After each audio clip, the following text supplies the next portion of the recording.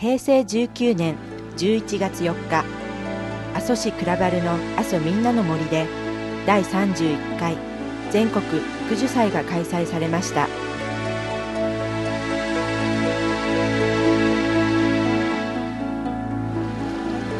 皇太子殿下のご臨席を賜り今回で第31回を数える全国育樹祭は昭和60年第36回全国植樹祭で昭和天皇がこの地にお手植えされた樹木を皇太子殿下にお手入れしていただくほか全国からの参加者による育樹作業などが行われました。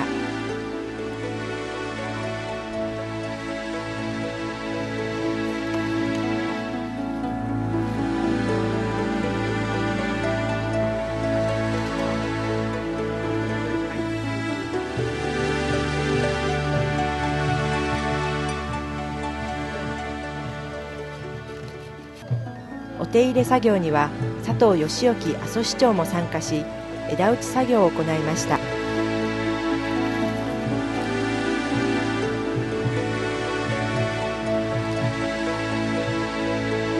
だいま皇太子殿下がお手入れ会場をお着きになりました。会場にお着きになった皇太子殿下は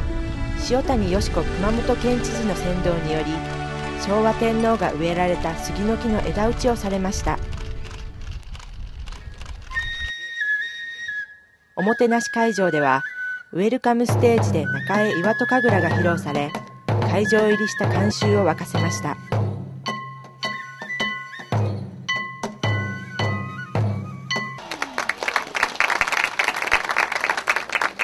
また同会場には物販コーナーも設けられ阿蘇ならではの一品に長蛇の列も見られました。式典会場では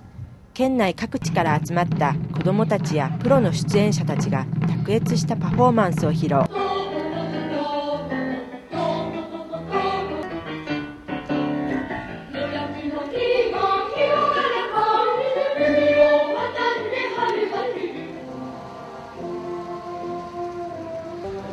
ただいま皇太子殿下がお着きになられました。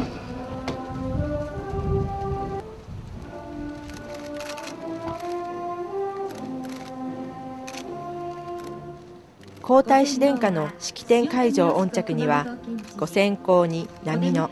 碧水中通り小返し東部の各小学校の緑の少年団がお出迎えしました。佐々木武国土緑化推進機構理事長ご選考は緑の少年団の碧水賞緑の少年団山崎幸太さん。中通り賞緑の少年会場には県内各地から集まった多くの観衆とご来賓の方々が出席。ただいまから第31回全国育樹祭の式典を開会いたします。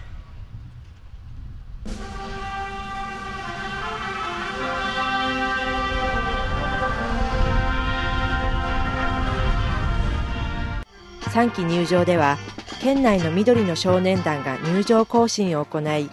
市内小学校の児童も元気に行進しました。第31回全国育樹祭が全国各地から多くの参加者を迎え皇太子殿下のご挨拶では緑を守り育てそれを育んできた技術や文化を次の世代に引き継いでいくことは私たちに課せられた大きな役割であろうと考えますと述べられました。喜ばしいことです活動発表大会優勝団体にしまして各緑化関係表彰も行われ全国各地から緑の少年団活動発表大会入賞者や育樹活動コンクール入賞者が登壇し農林水産大臣賞など名誉ある賞を受けました。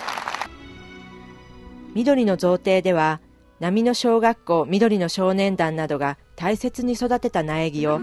全国から選ばれた少年団に贈呈しました。この苗木を育ててくれたのは波の小学校緑の少年団です。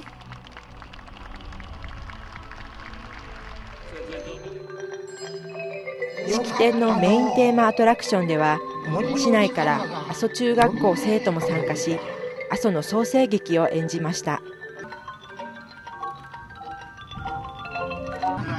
時田藤雄氏のナレーションに乗せてバレエや神楽などさまざまなパフォーマンスで阿蘇の成り立ちを再現。立岩辰野命の神話や森と人間の共生が分かりやすく表現され人間が自然をどう守っていくかまたそれをどう引き継いでいくかが示されていました。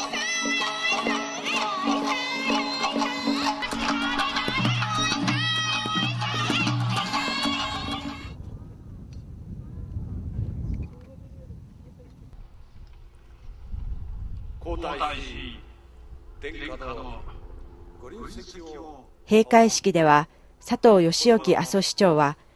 緑化に関する取り組みが一層推進されていくことを強く記念すると述べ閉会の言葉としました。ご参加いただいた皆様方にはご多忙の中そして早朝よりこの会場を後にされた皇太子殿下は阿蘇火口をご見学されこの日も美しいエメラルドグリーンを見せる火口の湯だまりをご覧になられました。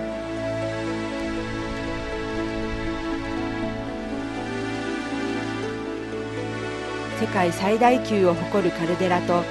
豊かで美しい水と緑を有する阿蘇。さまざまな文化とともに育まれてきたこの大自然を全国育樹祭の会場となったことを受けさらに美しく森と人々が共生する土地とし後世に残していきたいですね。